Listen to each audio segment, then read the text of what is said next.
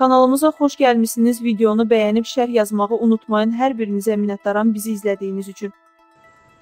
Rusiyanın Xarici İşlər Naziri Sergey Lavrov bazar ertəsi axşam Azərbaycana işgüzar səfərə gəlib.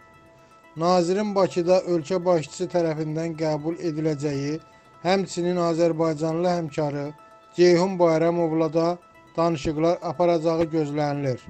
Qeyd edək ki, Lavrovun səfəri ötən il fevralın 22-sində imzalanmış müttəfiqlik əməkdaşlığı haqqında iki tərəfli bəyannamənin birinci il dönümünə təsadüf edir. O, Respublika rəhbərliyi ilə görüşlər zamanı iki tərəfli məsələlərin bütün spektrini, aktual regional və beynəlxalq problemləri nəzərdən keçirəcək.